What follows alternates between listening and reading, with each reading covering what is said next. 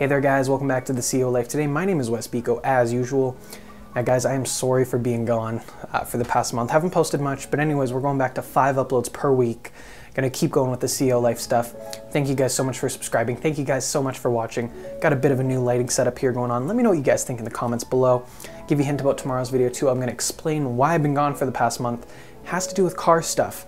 Um, I'm doing a video about the top five car scents, scents that I personally spray in my vehicles that I really like, and that'll kind of give you a bit of a hint of what I've been doing. Go check out my personal Instagram though, at Wesbeiko, W-E-S-B-E-I-K-O, and that'll explain to you guys a little bit more about what I'm talking about. So stay tuned for tomorrow's video. It's gonna be a good one. Now, today we're talking about this. This is a fragrance from Tom Ford. This is Ombre Leather. Here's how the box looks.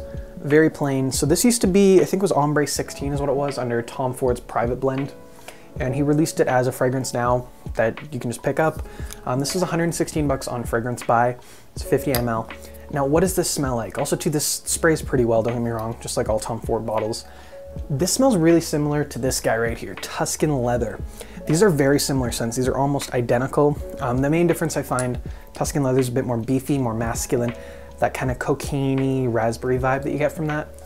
This has it, this one doesn't. This one's just that leather smell from Tuscan Leather. So if you like just the leather smell without any of the added umph or sharpness, go pick up this, okay? Ombre Leather, really great scent. How long am I getting in terms of lasting with this?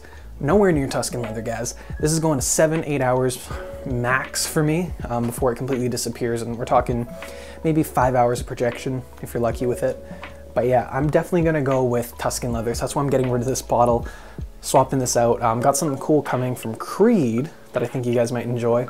So massive shout out to Jesse for swapping me.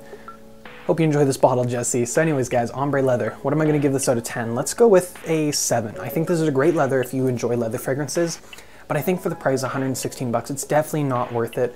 Especially for that price, you can go pick up a decan of Tuscan leather, way stronger, lasts longer, and a bit more masculine, especially if you want a really masculine leather.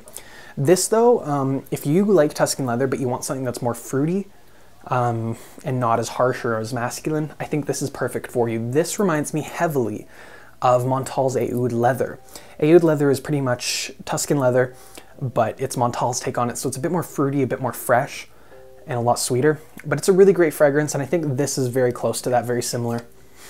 But yeah, I do enjoy it. It's just, it's to me, it's kind of generic and not worth owning if you have both. So anyways, thank you guys for watching and we'll talk soon. Let me know below guys, have you guys seen or got your nose on ombre leather? What do you guys think of it? Because for me personally, I think it's a bit redundant to own both, but I'd love to hear your guys' opinions. As always, subscribe, comment, and share this video around with your friends. There's gonna be a lot more content coming out. And you know hey, below, drop what kind of car you got, you guys drive. Let's hear it. Take care, guys.